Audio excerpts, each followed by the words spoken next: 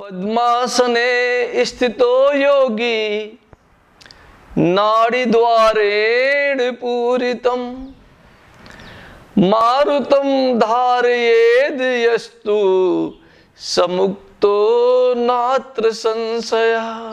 How can we attain liberation the verse explain the process of liberation and that is sit in lotus. Sit in lotus and close both your nadis, both your nerves.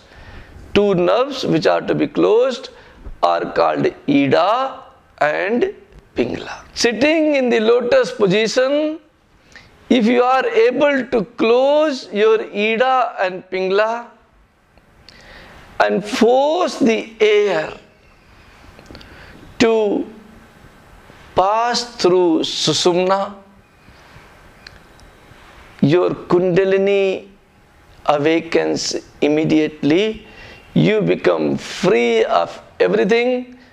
You instantly attain liberation.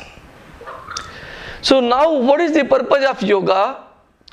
Purpose of yoga is to identify yourself and add yourself with your higher self, add yourself with the source. And for that purpose, eight limbs has been described. Out of those eight limbs, asana is just one limb. And in today's time, close to about 300 asanas are being practiced. All physiotherapy, all physical exercises has formed the part of asanas. But when you go to original yoga texts, wherein you want to understand the process of liberation, then yama is the first part, niyama is the second part, and yogic exercises are systematic way of going from one step to another step. The first thing what shall we practice is yam.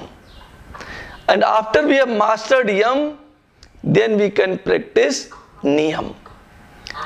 After practicing niyama only, we can go to asanas.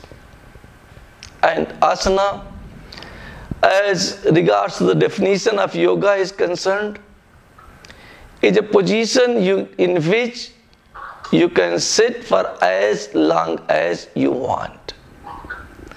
Mastering yoga asana means you choose an asana and be there in that position for at least 32 minutes. When you are there in that position for 32 minutes, that means you can remain in that position for as long as you want. 10 asanas has only been described. You have to choose any one of that. When you master, the asana portion gets completed. And asanas we can only master after we have finished yama and niyama. What is yama and niyama?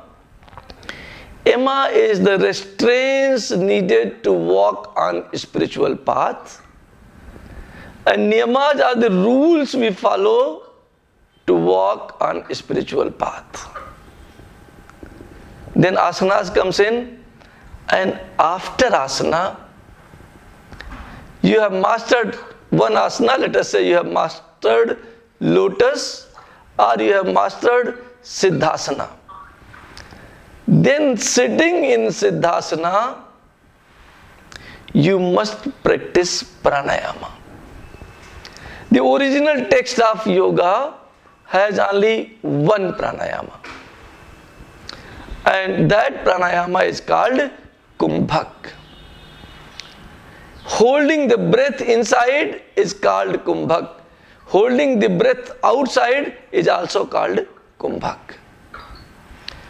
So what is the difference between inside and outside? Inside is called anta kumbhak and outside it is called bahe kumbhak. And then nadi dwaren puritam. This pranayama has to be made has to be made with mantras then only it becomes complete pranayama after mastering pranayama we go to pratyahara in which we set off outside world set off all our senses and start our journey within. This journey within is the essence of all the yogas. When what are the senses? Mind has 10 senses, 5 Gyanendriyas and 5 Karmendriyas. Setting off all the senses, you can slowly slow down and set off your mind and then you have to go to the next step called conceptualization. What is conceptualization? In conceptualization, we put our concentration on our object of concentration. It could be a deity, it could be a person, it could be flower, it could be anything. And after making the concentration, you go for meditation. And you remain in meditation, you chant your mantras in meditation, you get connected in meditation till this meditation becomes permanent. And what meditation is? Meditation is not when we are getting disturbed by anything what is present outside of us. Meditation is being one with the object of meditation. This meditation is also of several types. Meditation on something, meditation on nothing are the two basic type of meditations but later the meditations becomes of several types and when this meditation becomes permanent then you don't need to sit for meditation you are cooking, you are into meditation. You are doing anything, you are with your object of meditation at all the time to come. When that states come in, then that state is known as samadhi.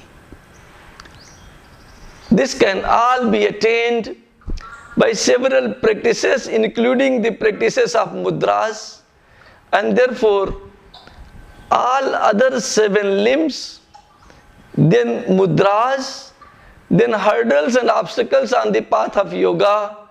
This all forms the yoga in which you try to make 1 plus 1 is equal to 1.